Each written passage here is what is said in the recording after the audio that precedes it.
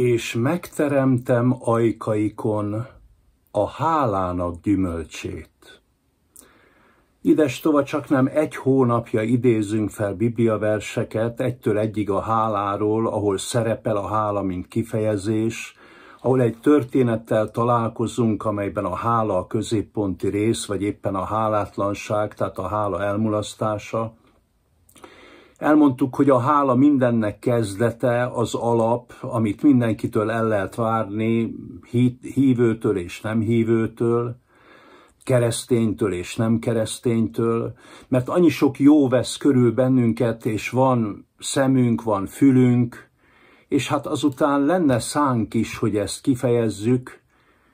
A hála a kezdet, de sokszor a hála a vég is. És erre utal Ézsajás próféta, aki több mint száz évvel a babiloni fogság előtt, több mint talán többet is mondhatnék, másfél évszázaddal a babiloni fogság előtt már kinyilvánította, hogy ilyen eltorzulásnak, ilyen elkorcsosulásnak a nép erkölcsi életében következménye lesz, aztán utána Jeremiás már világosan tudtáratta a zsidó népnek, hogy 70 éves lesz ez a fogság, amit a próféta elődje Ézsajás kilátásba helyezett, aztán Dániel, Ezékiel átélték ezt a fogságot, részben maga Jeremiás is, de Ézsajás könyve 57. fejezete, amely tartalmazza a mai igehelyünket, hogy megteremtem ajkaikon a hálának gyümölcsét,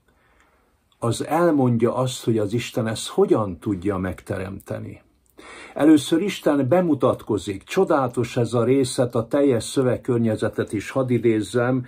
Ezt mondja Isten, így szól a magasságos és felséges, aki örökké lakozik, és kinek neve szent, magasságban és szentségben lakom, de a megrontottal és alázatos szívűvel is, hogy megelevenítsem az alázatosok lelkét, és megelevenítsem a megtörtek szívét.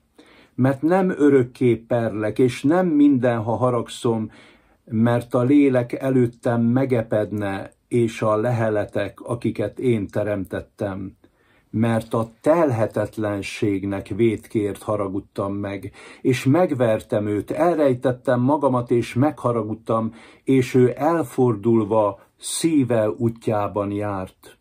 Utait láttam, és meggyógyítom őt, vezetem őt, és vigasztalást nyújtok neki és gyászolóinak, megteremtem ajkaikon a hálának gyümölcsét. Békesség, békesség, a messze és közel valóknak így szól az Úr, én meggyógyítom őt. Ugye a szöveg környezetből kiemelve is sokat mond ez a vers, de a szöveg környezettel együtt még lelkesítőbb. Mert Isten, aki magasságban és fenségben lakozik, lenyúl minden teremtményéhez Mindenkit föl akar emelni a porból és a sárból, ahogy a 113. Zsoltár mondja.